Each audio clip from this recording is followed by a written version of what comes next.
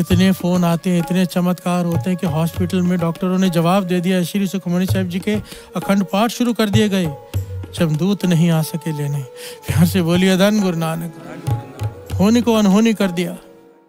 ठीक होकर बाहर आ गए। यहाँ पर हमारे दरबार की बात है, इस चालिए के भीतर ही।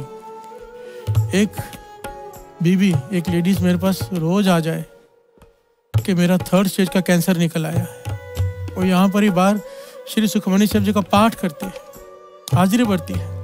पर कर्म, जो 24 घंटे यहाँ पर श्री पाँच पाठ चलते हैं, गुरु की कृपा से यहाँ पे। तीन श्री सुखमणि साहब जी के, एक श्री जपजी साहब जी का, एक चौपाई साहब जी का अखंड पाठ चलते हैं दरबार में, कई सालों से।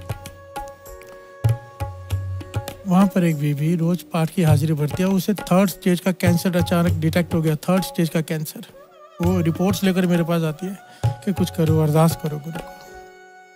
मैंने कहा, आप तो श्री सुखमणि साहब जी की बाणी पढ़ते हो। आप तो पूरा भरोसा रखो, गुरु। जो करेगा, भला ही करेगा। अगर ले जाना है तो ले जाए, रखना है तो रख ले, उसके बाद आप आप रोज हाजिरी भरते हो। बाणी है आपके पास, नेम बढ़ा लो। उसने नेम बढ़ा लिया। डॉक्टरों के पास भी जा रही है, इलाज भी चालू है चेकअप भी चालू है कि क्या करना है, क्या करना है। साथ संगत जी, सच्ची घटना दास यहाँ पर बैठकर बता रहे हैं।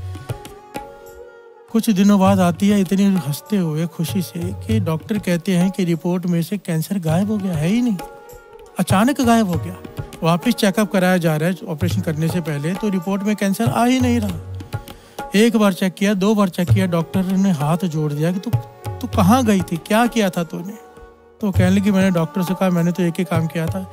श्री सुखमणि साहब जी की बाणी जहाँ मैं एक घंटा पढ़ती थी, मैंने चार चार छः छः घंटे पढ़ने शुरू कर दिए। प्यार से बोलिए, धन गुरु नानक। और बाणी की ताकत देखिए, कैंसर जैसा रोग ही गायब हो गया, वो भी थर्ड स्टेज फ़र्स्ट नहीं साथ संगत जी। अभी की बात है ये।